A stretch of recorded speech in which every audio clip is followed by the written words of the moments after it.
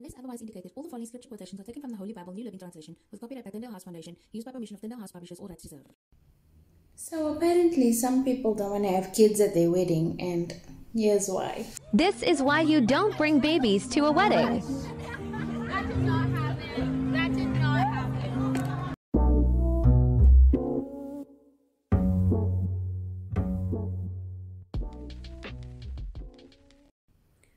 Hi, I'm Peachy Pye. Welcome back to my channel. Today we are checking out some kids doing some fun things at weddings and um, yeah, I think it's really interesting and personally I think that kids should be allowed at weddings because I think that if you want to make a whole theatrical shebang, then you gotta be prepared for people to do things that are unexpected. But that's neither here nor there.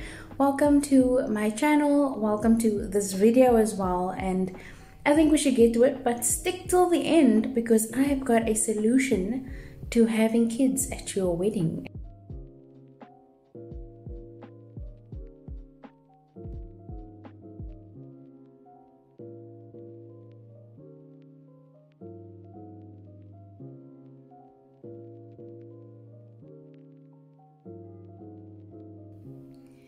Can I just say that that was freaking adorable? so cute. He tried so hard, and also he went back for the pants. That's that takes some bravery right there. I think it was really cute, and I think that people are so hard on kids at the having kids at their wedding. They're really against it because they want things to go so perfectly. But if everything went so perfectly, you wouldn't have these beautiful little moments that you could sit back in like a couple years with your spouse and your family members and they could be like hey remember when this kid who is now 17 was at your wedding and then they the pants fell off and everyone can laugh about it that will unite them as husband and wife.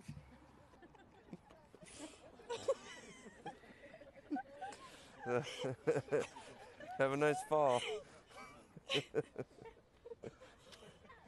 Oh, that's the sweetest thing ever. Thanks, Peyton.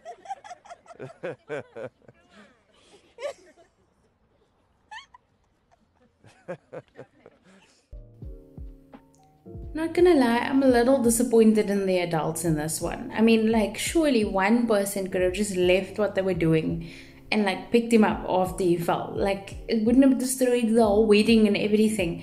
Everybody's already been sitting around for ages just to hear you say two words, and you can't stop for one second to pick up the kid.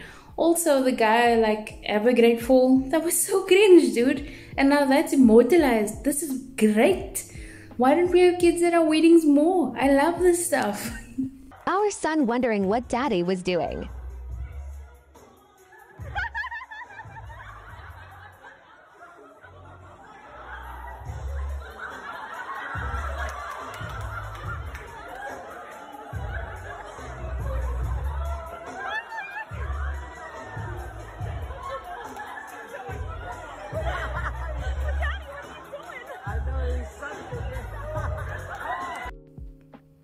That kid is a little bit young for that kind of talk.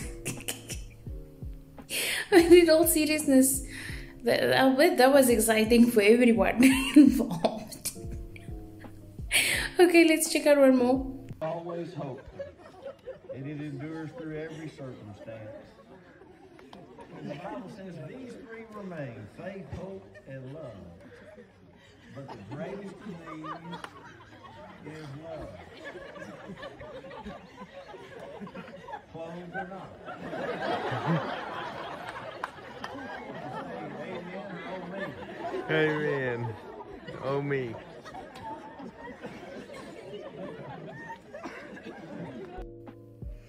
Ah, kids are the best. I love that they're so unpredictable. I, I love that. It's um sometimes it really sucks, but I love that they're unpredictable because it makes for a lot of fun times. There will be times when you'll be so upset with your kid you just want to blow a fuse, and then your kid will do something and you can't help laugh. But it's it's wonderful. It's such a it, it's such a strange dichotomy that you exist in to have a kid or to be around kids a lot because you learn so much from them and like it's very funny. But anyway, so before we go on to our scripture of the day, I was thinking that the solution to having kids at your wedding could be something like this, right? Let's say you have an evening side wedding, right? Like your wedding starts, your ceremony starts at like maybe five o'clock in the afternoon.